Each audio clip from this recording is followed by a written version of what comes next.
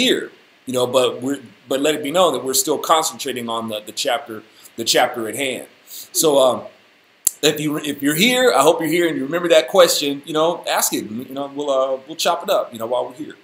All right. So if you guys got your Bible and your drink and your sandwich, whatever, let's see what we can get from the from the good Lord today as we trip out on the mind blowing word of God. We're at uh, Luke 19. Let's see what we can do with it. Okay. Uh, now, Yeshua entered Jericho and was passing through. And here was a man by the name of Zacchaeus. He was a chief tax collector and he was rich. okay. um, now, let's let's back up a little bit. Let's look at Jericho. Jericho itself means um, the moon. Uh, could also it uh, it also it included in its meaning is also month, and also included in his meaning is his sweet smell. That's not funny.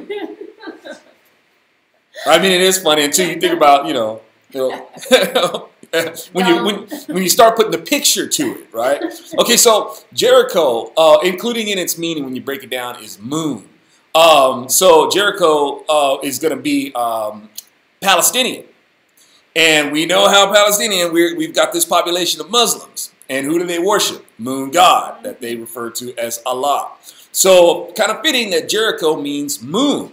Um, but we also have in its meaning uh, his sweet smell. And before the Lord did his work on the cross, as he's trucking up that hill with that with the um, with that cross that he's going to be nailed on, he was anointed. Um, young lady uh, took some nard. Right, this stuff was some smell good back in the day. Right, this is this was this is what was hot. Right, this was hot back in the day, and uh, you know it was very expensive. She cracked that open. She anointed his head, his feet, so he was smelling sweet. Okay, Awesome. so uh, you know, but I imagine, you know, I mean, we should, we should have a cologne. You know, Jericho. It's like Jericho for men, right? Like the walls of Jericho come down. It's like you be in the singles bar and stuff like that. Some girl gonna try to play all snooty with you and stuff. Say, hey there, you mind if I buy you a drink? I wouldn't give you the time of day. I'm sorry, what was your name again? Yeah, it's like the wall. You can have like commercial, like obsessions commercial. The walls come down with Jericho For men. Right? So, you know, I mean, hey, come on, Christians. You know, we gotta have some. You know, we gotta have some stuff out there.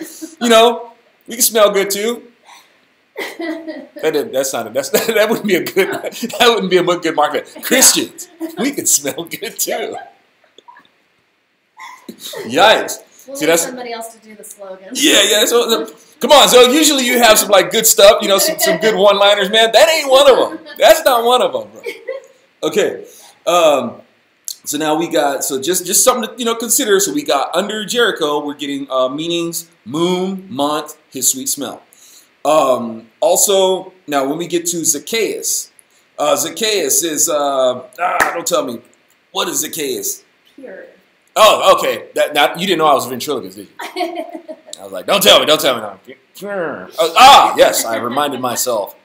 I didn't even know. I didn't even know Get all that I can get.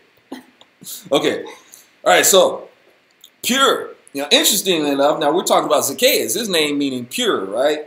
Okay, Zacchaeus. He was a chief tax collector and he was rich. Okay, pure, but his name means pure. That's like calling like a like a seven foot tall dude tiny. You know, and we get cats like that. It's like, you know, this, it, dang, man, Yeah. bro, bro, what's your name? You know, tiny. It's like, okay. you know, well, this dude's name is Pure. All right. Let's see. Uh, and he was rich. Zacchaeus was trying to see who Yeshua was, but he did, but he couldn't because of the crowd, because he was short. What's up, Shorty? All right. For he was short in height. So he ran ahead and climbed up into a sycamore tree to see Yeshua, for he was about to pass through that way. Interesting. Okay, so he's going to climb up into uh, the sycamore tree. The sycamore tree is in the family of, um, it's related to the fig trees. Um, so we know that figs, you know, when we think figs, you know, that's associated with Israel. but the the, the strange thing about the sycamore tree is that it's not, it's not, like, it's not like an indigenous tree to Israel. It's an Egyptian tree. So now, now this ain't, you know, we this ain't too, you know, far out there. God lets you see, you know, even today that you know we got, you know, trees that don't grow. Like probably where you are, you look at those trees. Those trees probably don't naturally grow there. Um, and you know, people we talk about we're cutting down all the trees. It's like no, there's more trees in America than before America was founded. Yeah. Lots of trees. And every time, you know, when they put up a building, uh, what do they do? They surround it with trees. Yeah. You know, so and it's not like the lumber industry wants to go and cut down. That's their livelihood. They're not going to go and squander all the trees, y'all. They're always, you know, replanting new trees to keep their business up. You don't want to cut down all the trees. So, but in this right here, this tree, the sycamore tree, this is an Egyptian tree. And we remember we was reading that, uh, you know, when, when Jesus says, if you have enough faith, you could tell this tree to get up, go into the sea, and be replanted or be planted into the sea. Well, this is another case of that. This is a tree that came up, that, that that's an Egyptian tree. And here it is, you know, in this location. It's like kind of reminds me of, you know, when God says, uh, I will call my son up out of Egypt. So we got the sycamore tree. Uh, it's in the family of the fig tree. The fig tree itself is associated with Israel, but it being, a, but this tree being a family of trees means it, you can look at it as us Gentiles who are being grafted in to the Jewish family. Okay, so it's like it's all it's all it's relative, right? So now dig this. He's gonna climb up into this tree. Y'all, we want to get up into that tree. All right? We want to get up in that tree. Get get your get your behind up into that tree so you can see Jesus. Because this tree, right? We're talking about uh, uh, the associations, the pictures that are being painted here. My son, whom I'm going to call out of Egypt, the family of, uh, of, uh, of the Israelites, and all that. all- The family of the chosen. You want to see all that sort of stuff. Get up into that tree. Get you get you that bird's eye view of Jesus. Right. Uh, so that's what uh, Zacchaeus is trying to do. Um, let me see. Five. When Yeshua came to the place, he looked up and said to him, Hey, Zacchaeus, get your behind out of that tree, man. I need place crash tonight. he said, I'm serious. okay? Zacchaeus hurried down. He hurried on down, came down, and welcomed him joyfully. Oh, Jesus, dude, this is gonna be awesome, bro. I'll get a couple of beers, and uh, and, and I'll get some DVDs. We'll get some videos, and uh, dude, we'll just hang out, bro. We'll hang out, man. It'll be fun. Right? Doritos. some Doritos, man. You know what you like, man. I'll, I, I can have like Domino's delivery and stuff. Um, dude, this is awesome, man. She's gonna kick it at my place, man. Wow. Cool now. See, you guys all making fun of me because I'm short and stuff. Jesus think I'm cool. All right, all right. Let's see. Now, Zacchaeus hurried home down or here down from the tree. We're seven. But when everyone saw it, they began to grumble, say, Yeshua, must be out your mind, man. Okay, Yeshua has gone to be the guest of a sinner. Okay, so now, now what makes what makes uh, Zacchaeus such a big sinner, which he was, he was a tax collector. Okay, basically, is this Zacchaeus was the New Testament IRS. All right, Yep. you know, it's uh, here's the deal. You know, tax you know, when you're taxing people, okay, because who's he taxing for? He's taxing for a false god. Oh. That's his big sin. These tax collectors, all right? They're taxing for the state. For the state, they're taking people's income. This is a violation. It's like the, the commandment says, "Thou shalt not steal." So when you're going around and you're pulling people's income, okay, you're going out. You're, you're taking what's theirs, and not only are you taking what's theirs, you're using to pay tribute to a false god. Remember what God, what Jesus, when he had that dialogue uh, uh, with the Herodians, He's like, hey, there is, when they're asking him about who to pay tribute to, Jesus says, uh, let me see that coin.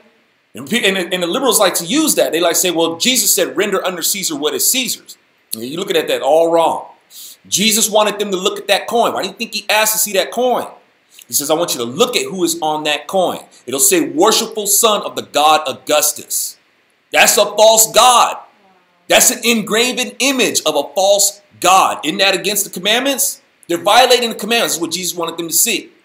So it's not. It wasn't about you know who's going to pay taxes or what. It's like, look, man, you guys. While you guys are trying to trap me in this, I got you. Huh. You know, dead to rights. You guys are paying tribute to a false god. So um, let me see. Where we at? Where we at? That's oh uh, uh, going on about uh, Zacchaeus and, and his business. So when you're when you're uh when you're taking the fruits of people's earnings, y'all, that's that's theft. You know, is and uh, uh, and today when you have institutionalized theft, when you're taxing people's income, y'all, that's that's that's trying to justify um, theft. You can't do that. And I know that you know they'll be like, well, how are you going to pay for your roads and how are you going to pay for these infrastructures and stuff like that? You pay with it with taxation according to the original tax model. And in the original tax model in our Constitution, you don't tax people's income. It's not in there because it would be antithetical to the Constitution. It would be violation of our right to property. Yeah, private property. Okay? So Jesus understands that, and these people know that. And ironically enough, you know, this person is seen as evil. They recognize him as evil. So what you're doing is evil. You are a great sinner. It was a sin to be a tax collector because you are violating people's right to their property and you're paying tribute to a false god with it. All right. Let's see. But Zacchaeus stood there and said to the Lord, Look, Master, half of my possessions I give to the poor. Oh, that's very nice and I have some, if I have somehow cheated someone, I repay four times as much. Oh, you are so, you are a jewel, man. Oh my God, I've never run into anybody as, as nice as you. As Okay. pure as you. As pure as you. Okay, now let, us back this up. This is especially now is, is this dude, uh, uh, this dude is a Democrat of his day. He's straight up a Democrat of his day. He's thinking that he is so generous. yeah. He's so generous. But what's he? How is he generous? He's generous with other people's money. Okay? He takes money from people and is generous with it. It's talking about, and if, and if I have cheated someone, I repay them four times as much. Well, when you do that, that means you're going to tax people four times as much. Do Democrats not do this? Always looking for a reason to, to, to, to raise taxes. We need this for this, and, and, oh, and we could do this, and we could do this for the schools, and we could do this for healthcare, we could do this, and we could do that. Oh, but by the way, before we do that, we're going to jack up your taxes. All right? So, Tax and spend. Yes, I'm gonna I'm gonna justify why I should be able to take from you more. This is fairness to, to, to liberals. This is fairness to, to the to the godless, to the Democrats. This is fairness to them. Yeah. Fairness to them is being unfair to somebody else. All right. So let's see. It's, hey, don't tell me that the Bible don't read us. Democrats don't like this stuff. They want to look at the Jesus who's all about you know uh, taking from the rich and giving to the poor. And Jesus, you know, doesn't. It's like Jesus never told. he- Jesus didn't roll like that. Read what he says. Yeah, we're about to see where he does the opposite. Yeah, yeah. He's exactly he's exactly the opposite. He's like, you know, you guys are making an idol. God don't like that. yeah. You, you better dig God for what He says He is. If you don't dig God for who He says, God's like, I understand. You don't dig me for who I say I am, but you know, uh, if you don't dig who I am, don't expect for you know, I'm not gonna make you live in my kingdom eternally because you don't truly dig me. Yeah. All right. Uh, so let's see. Then Yeshua said to him, Today salvation has come to this home because he also is a son of Abraham. For the Son of Man came to seek and to save the lost. It's like, look, man, that's very nice of you and everything, but today, today salvation has come. I'm gonna set the record straight. Hey, you're a sinner. You're a tax collector. You know, it's like you're kind of like the lowest kind of sinner. But you know what, man? I think there's hope for you. I think there's hope for you, and we're gonna sit. we're gonna we're gonna uh, we're gonna watch some videos, maybe drink a little wine. You know, have some Doritos. You know, some pizza. But before, but by, by the time I'm done, man, you gonna you gonna be straight. You go you gonna understand why it is that being a tax collector and all this these platitudes that you're speaking, all this stuff, stuff that you think is so good and so right is why it's wrong. Because what you're talking about, you're, you're trying to give yourself points. You're trying to give yourself merit. And in trying to give yourself merit, you're going to have to do other people dirty to do it, to make yourself look clean. All right? All right, let's see. As they were listening to this, Yeshua went on to tell a parable because he was near Jerusalem. And they supposed that the kingdom of God was about to appear at once. Okay, they're excited, right? Okay, Jesus about to do his thing, man. He's going about, he's about to unveil the kingdom. It's like they're excited, y'all. They're they're really enthused, but they still haven't grasped that he's God yet.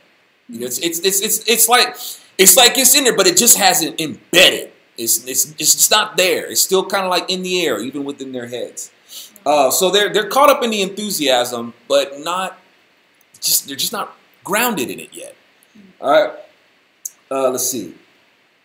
As they were listening to this, uh, Yeshua went on to tell a parable because he was near Jerusalem, and they supposed that the kingdom of God was about to appear at once. Therefore, he said, A certain nobleman went to a faraway land to receive for himself a kingdom and then return. And calling tens, remember I go to prepare a place for you, um, and calling ten of his own slaves, he gave them 10 minas and said to them before we go on, okay, let's clear up slavery.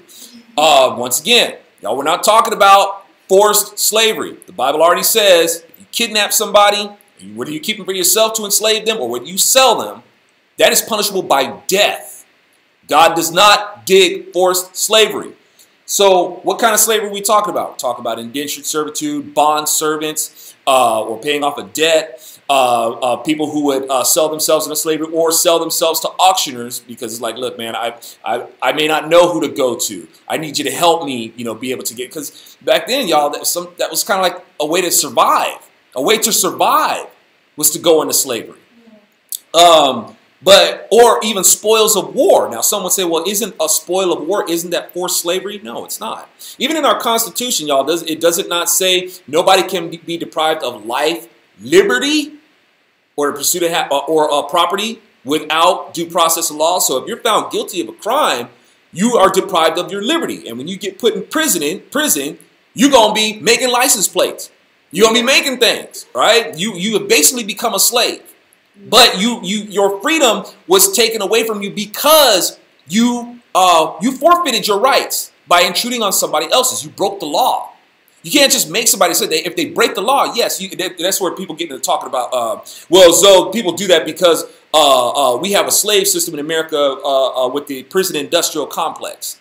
It's like, look, y'all. If you want, if you want to go the prison industrial complex route, you go right ahead. And where are those areas? Where are those people getting incarcerated that have the most crime? Democrats. All right. So yeah, people are getting probably getting incarcerated. They're getting incarcerated left and right. But you know, you look at the areas that are run by Democrats. You stop electing these people into power, and you help and you help uh, instead of like pandering to them and making them feel like uh, victims, and start telling them this. You know, yeah. showing the light to them. They can get freedom. Yes. All right. They're locked up in here and they can get freedom, and they don't have to do the things that are that expose them to uh, uh, uh, them them red and blue lights. All right, that that'll get them locked up. Stop stop enabling this behavior, y'all. Stop it. Um, so let's see. For himself, the kingdom returns. So the, oh, oh, anyway, so when we're talking about uh, uh, forced slavery, or we're talking about spoils of war, it's, it's not the same thing when God has uh, a nation, like, you know, when he has Hebrews like ride on a, a, another nation, it's not like God was bored and said, hey, Hebrews, you guys want to have some fun? You want to go kill some people and take them as slaves? God doesn't do that. When, when, when uh, God sends them to ride on another uh, um, tribe, it's because this tribe itself is just far out wacky wicked. I mean, they're they're they're gone, and they're they're a, a full-on oppressive culture. They be enslaving people, they be eating people, uh, they be sacrificing people, sacrificing children to other gods. I mean, these people are sick uh, sexual entitlements, bestiality. Uh, you know, did I say cannibalism already? Uh, you know, they, they be they, all this just crazy stuff, stuff that they feel just to, to uh, it's a culture of of just full on debauchery, hedonism. I mean, and, and oppression. Okay, even uh, so oppressive where people, uh, even the people who do the oppressing are looking at other tribes and say, "Wow, these people are sick. God, you need to." Do, they're even like, "God, you need to do something about this." Even like the the, the, the full on nastiest people say, "Wow, man, you guys are out of your minds." Hmm. All right, to where God's just like, "Okay, okay, we got to do something about this. I want you to go put them to the sword. These people are just they're way too far from me, and I cannot let their kingdom spread." You have to, in some cases, they were so bad, God had to have all of them killed. The men, the women, the children, the livestock, scorched earth. Yeah. All of it. Why? Why did God have to do that? Because, let's say, what's he going to do? He's going to kill all the men and leave the women destitute? You know, it's like, to, to, to, it's, it's like, because the women are going to get captured and they're going to get forced into slavery, being or concubines, prostitution. The children, they're going to try to survive. They're going to become wicked people to try to survive. You know, they may result to more theft murder, they grow up. So you can't really, and, and, trying to take them as slaves, these people are so far gone in their culture that they, they can't help but maintain a sense of patriotism. So in trying to take them as slaves, the, the women and the children, the children are going to grow up with a sentiment towards the culture they were taken from. They're going to be raised with that by their mothers. Do we not see that today in America? When you got people who come here and are still patriots of the nation that they want to come here. They want to leave their country and they want to, it's like they, they have to get out of their country, but they want to come here and turn this country into the place that they just left. Yes. Now I'm not I'm not being xenophobic. It's like, look, y'all want to come here legally? Let's do it. Yeah. You know, even Leviticus, Leviticus saying, hey, welcome the foreigner and treat them as your native born. But what does that mean? That means assimilate. You can't just come here and act any old way that you want to. There are laws that we have here. In order for me to love you as I love myself under this law, I got to love you under that law, which means you got to abide by that law. Amen. All right? So, Thank you for explaining that. so these these are things that, you know, when we're talking about, you know, forced uh, slavery, that's different from being a spoil of war. Because also, if God, if, if, if this if this tribe wasn't too far gone, yeah, God will say, yeah, go ahead and take them as slaves. I guarantee you, the Israelites are going to treat them better than where they were. yeah. And God puts sanctions on that. It's like this is how you are to treat your slaves. You treat them with dignity. You treat them with kindness. You know, you if you go on abusing your slave, eye for an eye, tooth for a tooth. Okay, this is God, God. God's like you got to. You got to treat your, your slaves fairly.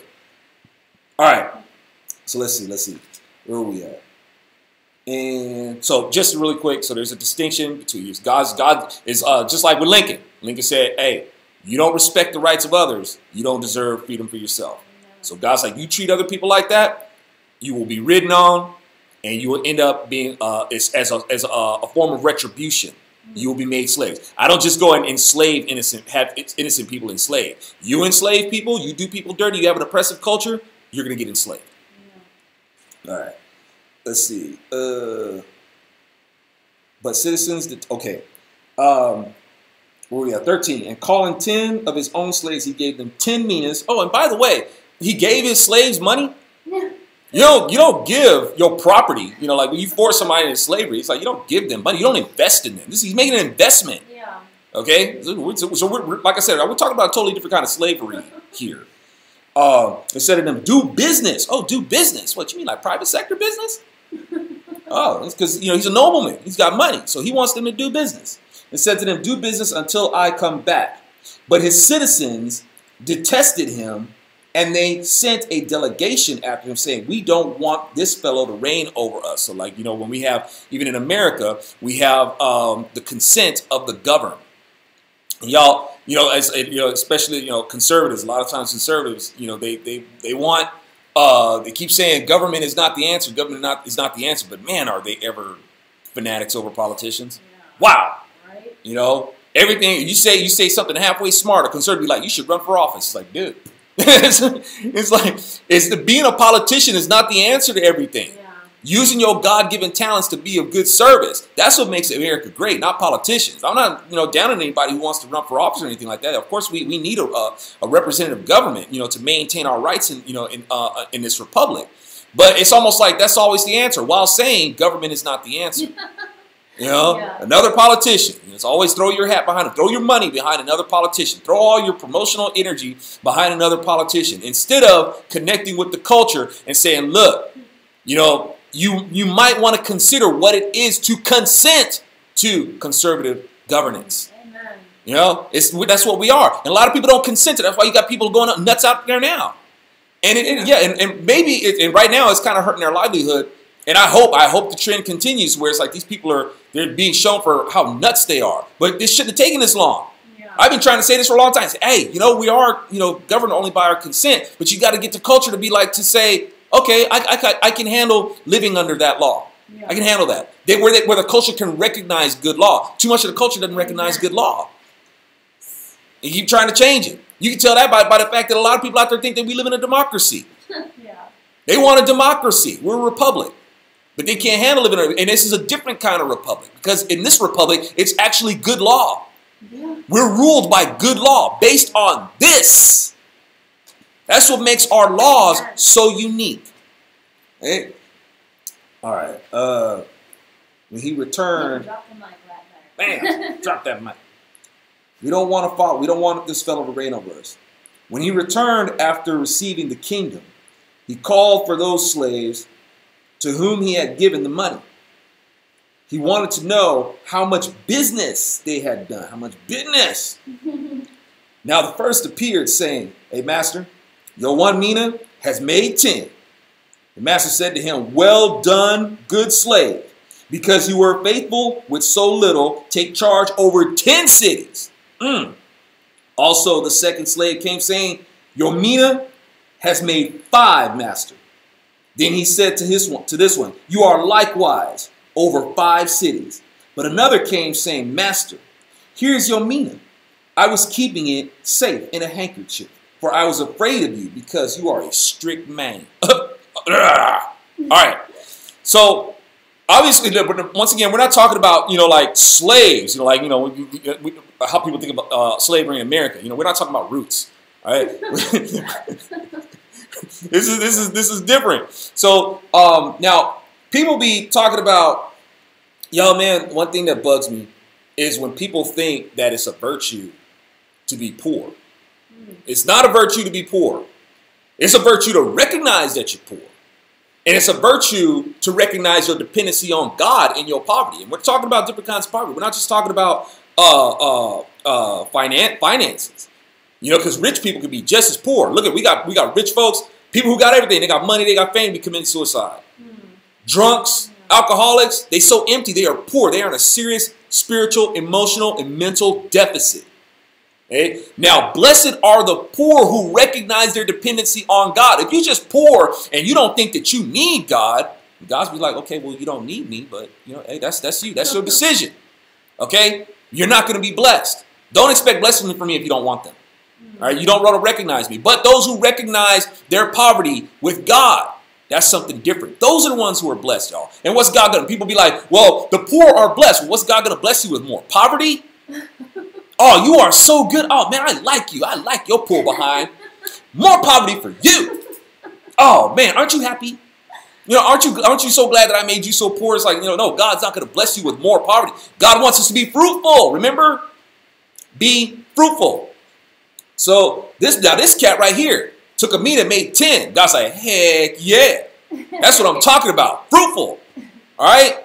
So he was fruitful. God's letting you know that it's and when people be talking about, you know, God, you know, uh, you're exactly where God wants you, and, and it's like, look, um, God, it, don't trust me. I'm not going to try to say that God's not in control, but it, as a person who is in control, He gives instructions. And it's like, look, I'm the one in control. I'm the one who knows what's going on. I told you to do this, and you need to get out there and do it, and you need to be fruitful. You got to be careful, y'all, with saying uh, God is in control, y'all, because that kicks the door open to complacency and you'll just assume that God's just going to do everything. No, God gives us responsibilities, and you're supposed to be fruitful. If you're if you're in a if you're not doing things or, or moving towards doing things with the God-given talents and resources that God gave to you, God's going to have an issue with you. He's going to say it in here. He says, "I got a problem with you." If you're doing, if you're moving towards doing something, it's like you know, you know, who knows, guys? We may go to our graves, uh, uh, not achieving the things that we wanted to achieve, but you got to pursue it. You can't just be like, well, you know, maybe that's not what God wants me to do, and God's in control, and I'm, maybe I'm exactly where I need to be, and stuff like that. Y'all, that can only go so far. You're being complacent, and you're making excuses, and you're using God as an excuse. That's taking God's name in vain. Don't do that because you're sinning against yourself and you're sinning against God. Don't do that. You can't be complacent like that. And God's going to tell you. Hey, um, then he said, uh, where were we at? Uh, so we said, but another came saying, Master, here is your mina. I was keeping it safe in a handkerchief. But I was afraid of you because you are a strict man. You took, you take what you did not make and reap what you did not sow. Oh, I like your nerve. Hmm. He said to him, By the words of your own mouth, I will judge you. Okay, so this cat is going to talk about you're a strict man. Wait a minute, wait a minute. Dude, strict man, he just gave you money up front. He gave one dude some, he gave uh, this dude money. Whatever it was that he gave him, he increased it. He gave another dude some stuff. He increased it. He gave you some stuff. You should have increased it. He was gracious to you up front. He wasn't strict. Amen. You know, we be looking at God like, you know, people try to judge God like he's this mean old tyrant in the Old Testament who just likes to, you know, uh, uh, drown people and murder people and stuff like that. It's like, well, actually, you forget about the God who gave us grace up front. When Adam and Eve were created, they were given the whole universe. The whole universe was their backyard. Immortal, paradise. I mean, uh, uh, uh, job security. Yeah. Okay? Job security, great health benefits. Like I said, their health benefits was way better than Obamacare. way better. All right? So they was hooked up. Yeah. Eve could get pregnant and it wouldn't hurt. look, ladies, look what we look look look look we done missed out on. Okay? Because just does not the word say, I will increase. If, if anything, if anything, childbearing was supposed to be a minor discomfort. Like something, okay, you know, I'm about to push something big out of my body, but it wasn't supposed to be like, oh my God, like you're gonna, you like you want to eat your own head. Okay? It wasn't supposed to be like that. Look at all the things that we have passed up. God gave that to us up front, and we ruined it. Okay, so let's not look at God. It's like God is like you got one rule, man. I mean, like I, like I said, y'all, if, it's like you're, this is God. You're, you're talking to God. God gives you some instructions. It's like, dude, I created you. It's like, you, do you know where you came from? You came from nothing, right? I took finite material and I made you into something infinite, hmm. even with finite material, right? I mean, with finite material, I still made you into something infinite. You could have been immortal. Right? Look at all I gave you. And I'm gonna give you one rule. One simple thing. Don't eat from that tree. That's that's that's it. Am I asking too much? Considering everything that I give you, I ask you this one small thing. And if you can't do that one small, wouldn't you be ticked off? I think you would be, because look what kicked, what got kicked open. The disobedience opened up the flood floodgates to our knuckleheaded behinds. And look how we do each other. That's you know, we, we we're poisoned. And yeah, naturally God's like, okay, well, that fever's gonna have to just go ahead and build. That's, that fever's gotta break. I'm gonna have to let that fever go. Because sometimes, you know, you know, even even the medical profession, they gotta be careful about how they treat fevers. You can't bring the fever down because you, you may your body may need that fever to kill what's in it. So it's like, well, we can't, we can't. Sometimes you gotta let the fever break. And that person's gonna be suffering and sweating, dealing with that fever. You gotta deal with the fever, y'all. Gotta deal with it. So that's what God is doing. So look, man, that, that fever, that fever's got to break. And then at some point, God's going to hit that flash pasteurization button. and the whole, the, the whole sin virus is going to be gone. Yeah. But right now, but why? He's like, well, so why doesn't he do it right now? Because there's so many people. It's like, dude, dude, do we just want everybody to just, you know, all the people that could be saved? It's like, God, man, I'm, try- I'm trying. I'm, I'm out of mercy. I know it sucks for you, but out of mercy, I don't want to pull that trigger just yet. I'm trying to get. It's like, I don't, do you think I want these people? Like God says, I don't delight in the destruction of the wicked. I want them to see the light and live. So generations are playing out, y'all. It's going after generation and generation of people. They're like, God's like, are you guys gonna wake up and see that you can't do it on your own? At some point, you know, the, the, there will be no excuse for you to not see it. And when that, when those excuses run out, is when I'll pull the when I'll pull the trigger because I'm a just God. I, you guys have to run out of excuses. You have to run out of excuses. And when you do, that's when I'll pull the trigger. All right. Um, so let's see. By the word now he says, he said to him, By the words of your own mouth, I will judge you, you wicked slave. Right there. It's like y'all don't make excuses and don't try to drag God into your excuses to not do things. Things like, well, God's in control and He has me right where I want to be. God's like, uh, uh, uh. I gave you instructions. I gave you, I, got, I gave you a job to do and you need to do it. You need to try. You may maybe you won't succeed, but you need to try. But don't be using the excuse that that uh, I held you back. Oh, yeah. Trying trying to be like, well, you know, uh, God, if I if I do this or if I don't do that, it's like, no, no. God says this is specifically what I told you to do. I told you to grow. I told you to increase your territory. I told you to do this. Okay? Um, you should know better of, of, whether if it's if it's godly or not. You know, and that's one thing about you know, and be careful, y'all, because you know really quick, you know, be careful about what it is that you do when you're calling yourself a Christian. You and you out there doing your job, and it's hard, y'all, because a lot of times I see people like putting their artistry before the kingdom, or they put their career before the kingdom. You know, it's like uh, it's like they'll talk about you know, how they're a Christian on one side of their mouth and just get out there and do work that's you know and using a lot of profanity or or or you know taking a lot of liberties, you know, and using vulgarity and stuff like that. It's like yo, that doesn't really bring the Lord glory. You're trying to bring glory to yourself. You know, you're just you're just you know you're you're you're a slave to your art. Where it's like I'm going to put my artistic expression before you know before the word of God. And uh, you know, it's like and even for myself, y'all y'all know I'm, I'm a little a bit of a knucklehead. You know, I'm a bit of a potty mouth myself. I try to keep it PG-13 you know. But I, I try not to say things that I wouldn't say in front of my grandmama. You know what I'm saying? You know, that's when it takes real creativity to be a little, you know, be a little salty sometimes with your humor, but at the same time, it's still respectable to where it's like, you know, it's it's not so awkward and uncomfortable. You know, where you just you have total disregard for the fact that there may be kids around stuff. I see that stuff all the time too, man. It's like people just be cursing and and, uh, and saying stuff in front of kids and stuff like that, and saying stuff in front of other people's kids, and I'm like, dude, you know, are you that selfish? Are you? Are it's like can't you can't if you're going to be conservative, especially with conservatives. Because I see conservatives do this a lot, you know, or more than I should. I don't want to say it's everybody. It's, like, it's, it's too often. It's like, okay, if you're conservative, well, be conservative with your behavior. Don't just be conservative with your politics. yeah. Exercise being a conservative even in you know your personal relationships with people. So you sitting there cursing and stuff like that, you know, in front of other people's kids. Like, dude, you know, have some respect. You know. Wow. Um, let's see. And where was we at? By the words of our mouth. And thank you for keeping me on track. All right. Uh, read and, and you know that I'm taking what I did not make and read. It's like, look, we're taking what I didn't make. Fool, I made everything. and as far as anything that I gave you, what I gave you is because I worked for it. I had this to give to you in the first place because I worked for it. You gonna throw this at me like I take what I didn't make? And you need to go talk to that tax collector, yeah. okay? That's what you need to go do. He's the one who takes what he didn't make. You tell you barking up the wrong tree, son. Amen. All right, let's see. You knew. Uh, now I will judge you, you wicked slave. You knew that I am strict, taking what I did not make and reaping what I did not sow. So he's like, as he's asking the questions, like, wait a minute. Okay, so you you you you you made the uh, assumption, or you know that I'm strict. Yeah, I'm a shrewd businessman. Yeah, I'm strict. I'm gracious too. You left that part out. Okay, but you knew that I was strict, and then, and then he asked him the question, and you gonna accuse me of taking what I didn't make and reaping what I didn't sow? Oh man. Okay, about to get Godfather on my Uh, let's see. Then, and if, and if you knew these things, then why didn't you put my money in the bank so that when I came back, I could have collected with interest?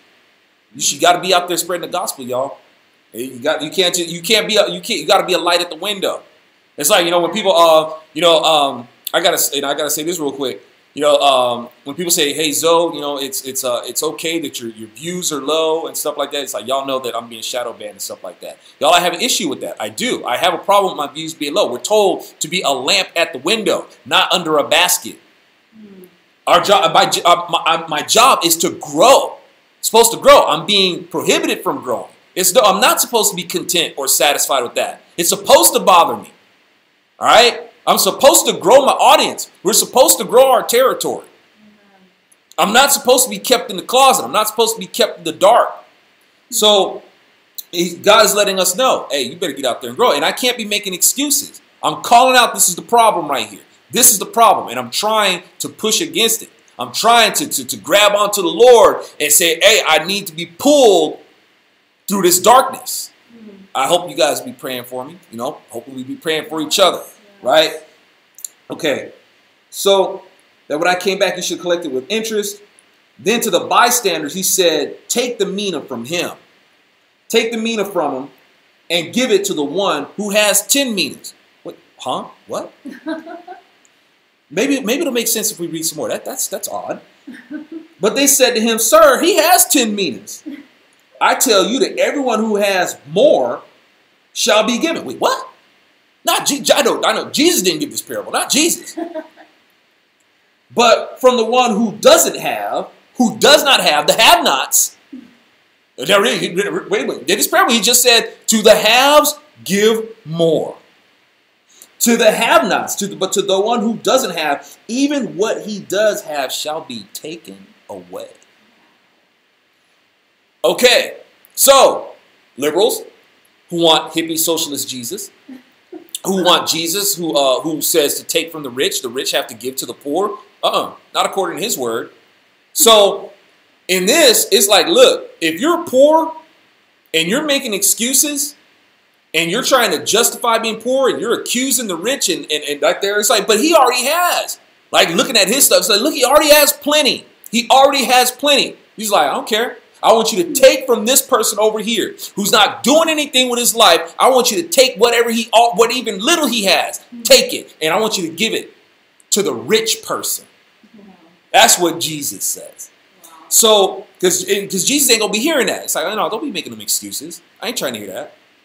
Um, and you can see it play out right now. Because you know, a lot of times when people are in poverty and they're and they're, and they're focused on, you know, they, they're uh, focused on, you know, Wall Street and they're focused on the rich and they're accusing the rich and trying to indict the rich and stuff like that. It's like, okay, while you're doing all that, you're putting all your energy into that. What are you doing? What are you? Who are you helping? You ain't helping nobody. Yeah. You're talking about how these people are so greedy. I bet you they they schedule their charity. Mm. They got a schedule of charity. While while you're not doing anything. So true. Okay, you're not doing nothing. Talking about how I don't want to make the rich man, you know, more rich. It's like, well, he- he- here's an idea. Uh, if you if you want, you, you're gonna have to like start uh, exercising a good work ethic. Jay, if it's like you, I don't expect you to be at that job forever, but you might need to learn something about how it is to like you know do customer service because that's what that person made a business for to satisfy customers. Amen. You might want to learn that. And exercise some humility. But no, it's like people, I ain't no punk. I ain't, it's like, no, dude, it's like, yeah, actually, you're being a punk right now. Exercise some humility and do your job. Mm. All right? Yeah. This is, and then one of, the, one of these days, you will be a person of affluence. You will have your own company or your own business or doing your art and stuff like that. Hey, and then people will hate you for being rich. Yes, exactly. All right? And you'll be like, what? What did I do? I just tried to make an honest living. But people are going to accuse you of being dirty somehow. You're filthy rich and you don't care about anybody. You can make a Twilight Zone episode out of this. The irony is so thick. right? So that's what God, that's what Jesus is saying in this parable. I want you to take from that poor person. I want you to give it to the rich person. And people, we and we do that now. It's like when people are you know, living in poverty and and they're trying to. It's like you know their life sucks and and they try to do things. And, I, and y'all, I'm not judging because I'm the same. I've been the same way.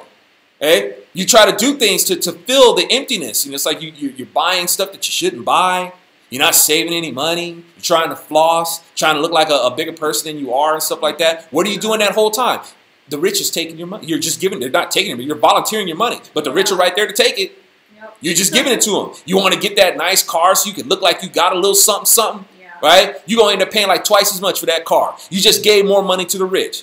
You, you got sucking in. It's like, hey, you can get into this car, and if you have a job where you make $300 a week or something like that, yeah, you, you're going to go down there and try to get that job. I mean, try to get that car so you can look, I got me a nice new car. Trying, trying to look, you know, all cool and stuff while you poor. and you're going to realize, wow, you just paid a whole lot for that car. More than you should have.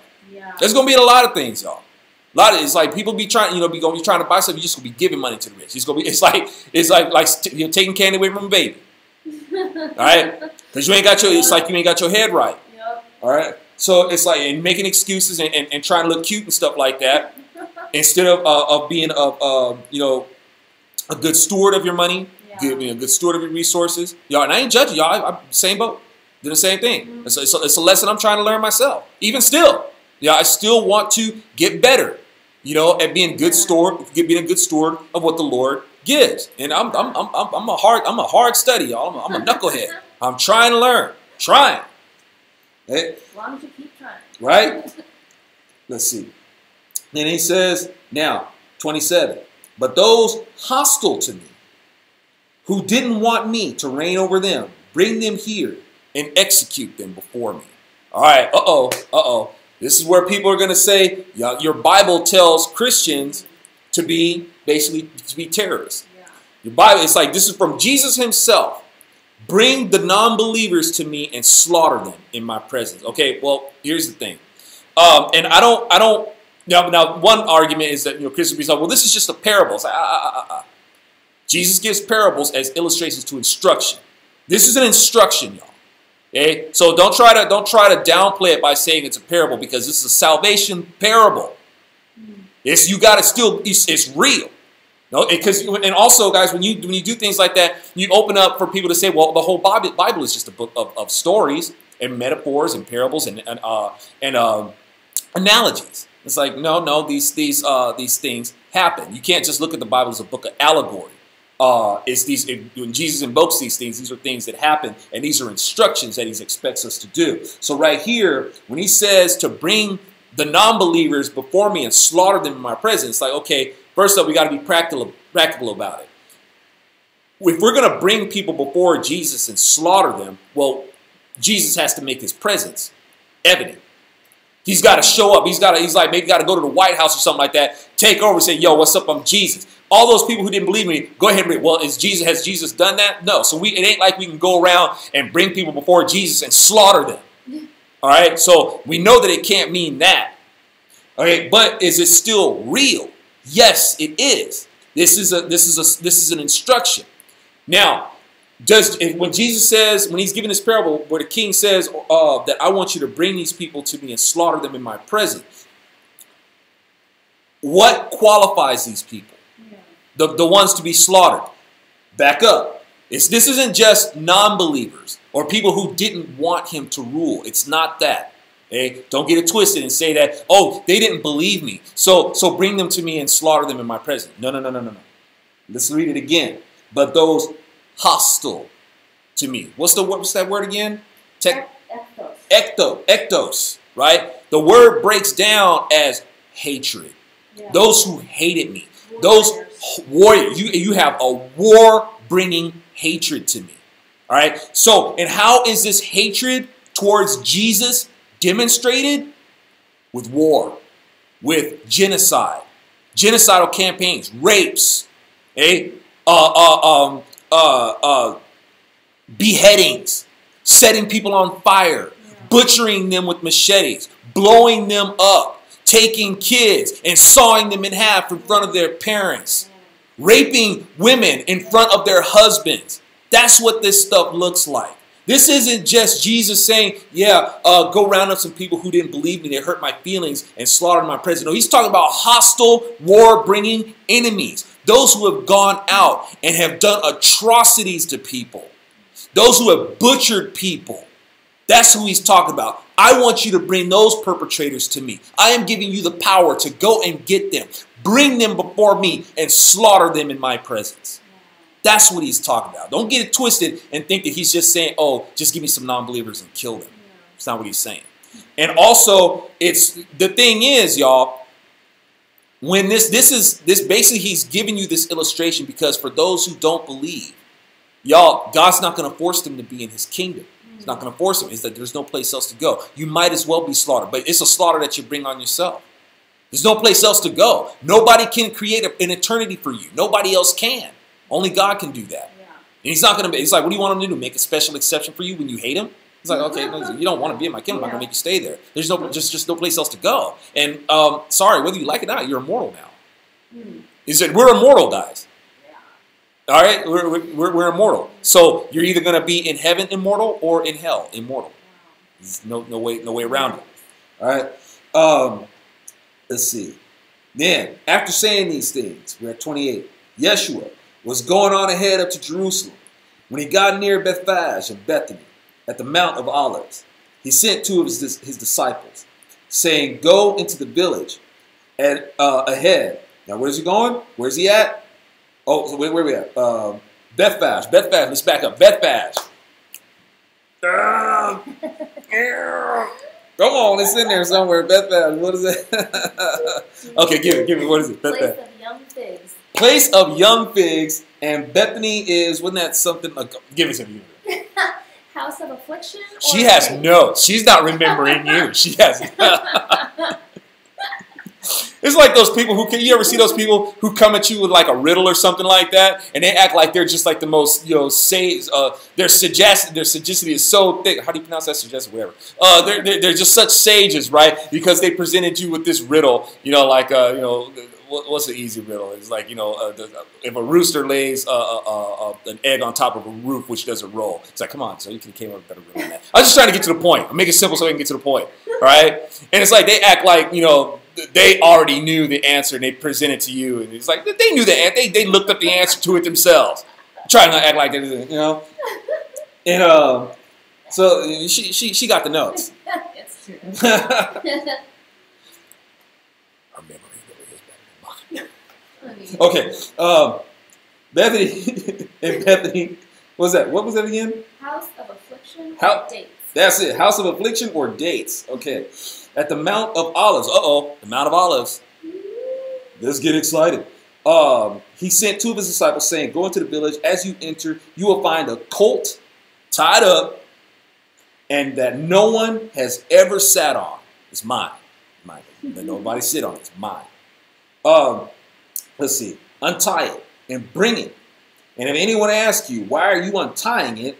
You shall say, the master needs it. What you got to say now? Oh, nothing, man. Go ahead. That's all you, bro. All right. Those who were headed out found things, uh, let me see, found things just as he told them.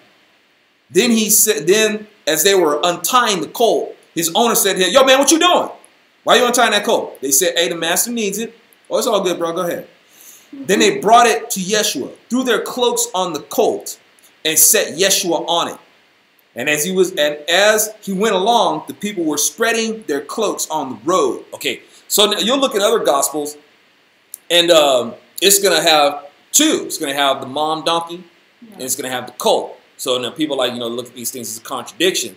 Um, it's not. It's not a contradiction, y'all. In this right here, when it called, when it says that it's one colt, it didn't say that there was only one. It's just making reference to the colt.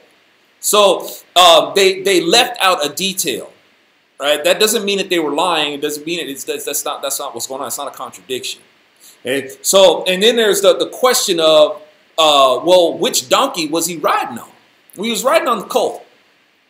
But it says that he was riding on them. It's like, no, no, that's not what the Bible says.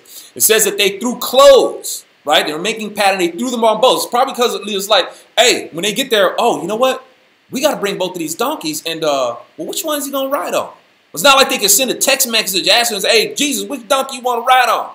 It's not like that. They're gonna have to. They're gonna say, well, uh, just to be safe, man, just to, uh, just in case, we'll put our clothes on both of these donkeys. So when it says that Jesus sat on top of them, he was talking about the clothes. He didn't, they didn't put like one article of clothing on it. It's like because then it would have been like, yeah, he sat on top of it, as in one article of clothing. No, they layered it. Yeah. And there was articles of clothing on there, and it's like he sat on them. He didn't try to ride both donkeys at once or like do a stunt or something like that, you know, riding, you know, both donkeys or anything like that. And it was important that both of the donkeys are because this donkey, the foal, is it's like a, it's a yearling. Some and uh, donkeys, you know, are, uh, these uh, equine creatures can uh, they can nurse like upwards of a year. So this, this donkey's like a, a, a, less than a year old, and Jesus, you know, he understands that you know if I'm gonna ride this donkey just to keep it, you know, uh, uh, calm, you know, uh, obedient and not too distracting and stuff like that, I'm gonna have its mom with it. So he's bringing both the donkeys. All right, donkey might get hungry. Donkey might want a little something to drink. You know, get some milk and stuff like that. Okay, let's keep on easing on down the road.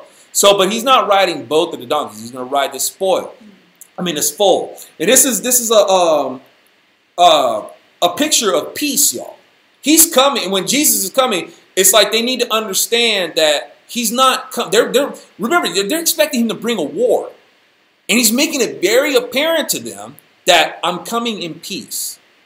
He's riding on the foal of a donkey. I mean, a, a weak. this donkey is maybe. I mean, maybe you could ride a donkey in the battle, you know, historically, I don't know if people ride donkeys in the battle, but just, just thinking about it, it's like maybe you can ride a, a full-grown donkey. It's not a small creature. A donkey's a pretty sizable creature.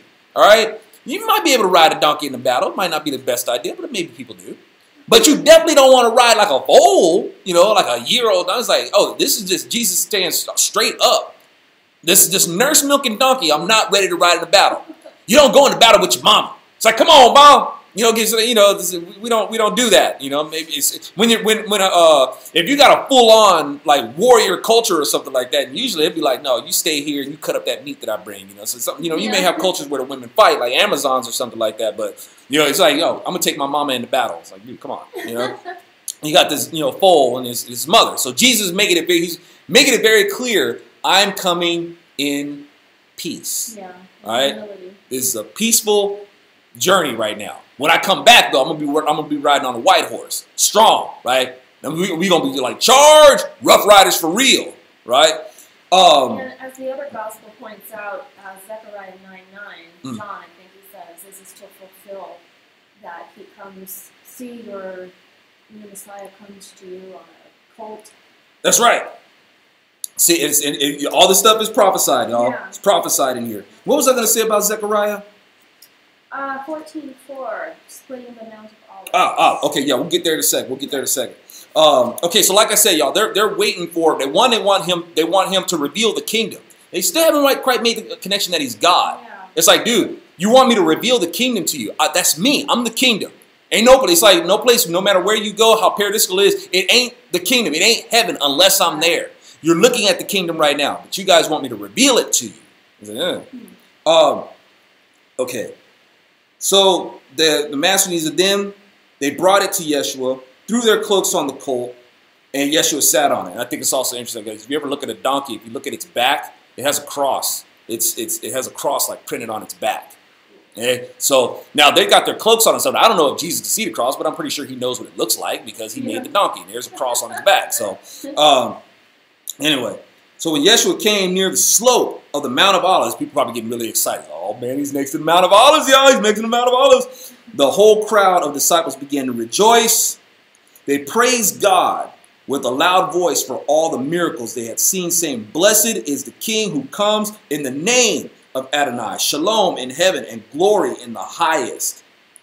All right. Some of the Pharisees from the crowd said to him, Teacher, rebuke your disciples. But answering, Yeshua said, I tell you that if, if these keep silent, the stones will shout out. All right.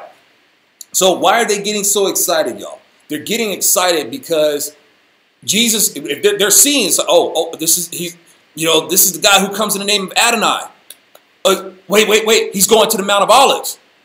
When he steps on that Mount of Olives, he, it's going to split. It's like, is he going up? Is he going up to the Mount of Olives? Is he going to step on it? Is it going to split? Is he going to, is, is he going to split the kingdom? So they're, they're getting excited because they think this is what's going to go down. It's like, no, no, this ain't, this ain't it. Because you guys haven't recognized who I am yet. You haven't recognized, you want to see the kingdom. You want me to unveil the kingdom. That's, that's me. So, but they're getting excited because they're waiting, they're thinking that this is going to happen. Um, so when we look at, let me see, Zacchaeus, I mean, uh, Zacharias, 4, 14, 4. Let's see. What's that saying? In that day, his feet will stand on the Mount of Olives, which lies to the east of Jerusalem, and the Mount of Olives will be split in two from east to west, forming a huge valley. Half of the mountain will move toward the north, and half of it will move to the south. Then you will flee through my mountain alley, because the mountain valley will reach Azel. Yes, and you will flee like you fled from the earthquake in the days of King Uzziah and Judah. Y'all, basically, when Jesus comes to do this thing, he's going to put his foot in it. It's like you do not want Jesus to put foot to your behind. Consider what he can do to a mountain. Jesus comes to karate kick this mountain, it's going to split from south to north. It's like, you do not want Jesus to put his foot in your valley and divide your behind. All right? So it's, it's not a good idea to be on the wrong, the business end of Jesus' foot. Uh, so the crowd was thinking that this is going to, he's going to fulfill Zechariah right now. Yep. They, they're getting excited. Um, so some of the Pharisees from the crowd said to him, "Teacher, rebuke your disciples," because they're they're they're starting to they're, they're starting to believe, right? Yeah. Um, they're uh oh, oh man, my friends are jumping up. How am I looking on uh just real quick? How am I looking on your uh, site? You're, you're okay. All right, let me try to keep going. I'm almost finished. Almost finished. Devil don't want me to get this out. Devil don't want me to get this out. Okay. So as he drew near uh, rebuke your disciples because they, they don't want the um, they don't want people to, to, to start to believe. It's a, yeah. it's a threat to their power, um, and they don't want people to believe this that this could be the Messiah. Um, and he tells them that the stones will shout out. It's like, yeah, you know why the stones will shout out? Because I made people from the dust of the earth. Mm, yeah. All of creation will proclaim it. You can look at you know look at all of creation. The, the, the all the, uh, uh, the the bodies in heaven proclaim my glory. Yes. You know, even every all creation speaks of me. Um, as he drew near and saw Jerusalem, he wept over her, saying, If only you had recognized this day the things that led to shalom. But now you are hidden. They are hidden from your eyes. For the days will come upon you when your enemies will surround you with barricades and hem you in on all sides. And they will smash you to the ground. Smash you to the ground. Let's see you and your children within you, and they won't leave within you one stone upon another because you did not recognize the time of your visitation. Okay, now some would say, well, the temple wall is still there, so I guess this prophecy didn't come to pass. Y'all, the prophecy may not be done. Number one, but also think of it like this um, God is smart enough to re- leave a remnant. Say, yeah, I'll leave this there so you can know that that's, this was there. Because you know how people will be trying to dismiss things. The Holocaust never happened. Even got the Egyptians to say that the, the, Exodus never happened. They'll try to tell you these things never happened. So if that wall came down, they would try to use that too. So God's like, okay, I'll leave a portion of that wall standing up. But at the same time, the prophecy may not be done. You think Rome was the only enemies uh, um, uh, uh, Israel had? They're not the only enemies. We got they got enemies now. So it's, it's like you, you may have a whole uh, uh, nations that rise up against Israel and may it may still finish off that wall. Wow. You know, so it still may happen like that, but there has to be evidence there because people will try to dismiss it. All right, let's see. Then Yeshua entered the temple and began to drive out the merchants, saying to them, "My house shall be a house of prayer." I love this. People are famous. Like Jesus, yeah, he went in there and kicked butt and all this. Like, yeah, but Jesus also went in there and announced himself as God. Yeah. It's written, my house. He didn't say it's written my father's house or written God's house. He said my house. Who you gonna be praying to? You gonna be praying to me. It's my house. Who is it written? It's written about me. Uh, but you have made it into a den of thieves. And he was teaching every day in the temple. The ruling Kohanim and the Torah scholars, even the leaders of the people, were trying to destroy him. But they did not, they could not find a way to do it because all the people were hanging on his words.